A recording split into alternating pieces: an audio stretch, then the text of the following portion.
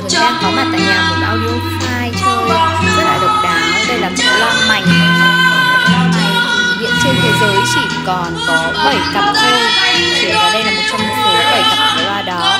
Và một điều thú vị nữa là trong cái hệ thống này thì anh chủ, gia chủ là một người rất là đam mê chơi đầu cối. Và anh thường sưu tập những tăng cổ gốc trị giá hàng trăm triệu đồng.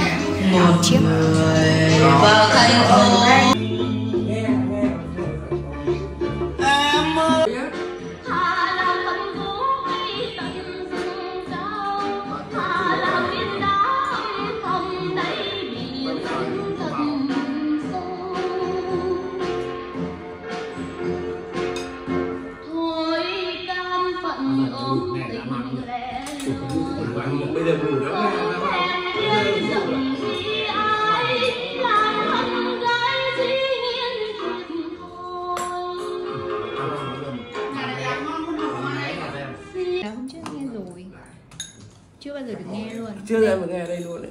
Thế à? cuốn này là ca sĩ nào anh? Khánh ly á cuốn này là cuốn phê em đấy. Cuốn khánh ly một phê lắm khánh ly hát cho hương việt nam có bài gia tài của mẹ đấy. À, dạ. đâu bìa đâu anh? Bìa đâu? Chưa xem tại nhà anh Tráng một audio file gạo cội nhá. Chuyên về đầu cối cuốn này cuốn hành mi một. Anh nghe tất cả những bài hát có trong cuốn băng này đều phải là những bản tình ca nhưng những lời ai đã viết, trái tim của cảnh tình nhân vẫn là nhưng đã theo một loạt nhịp bàng hoàng của những phút tỏ tình.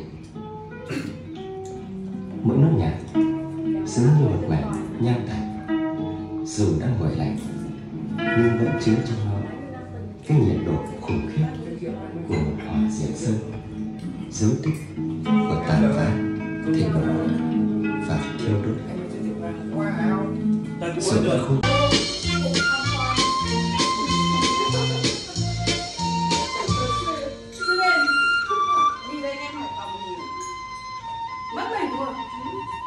đi với anh Bình rồi còn mình nơi đây tôi chờ.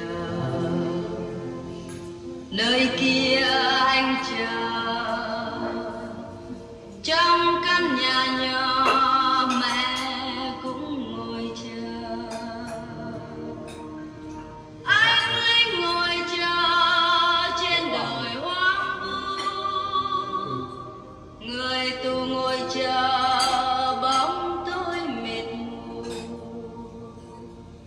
chờ đã bao năm chờ đã bao năm chờ đã bao năm.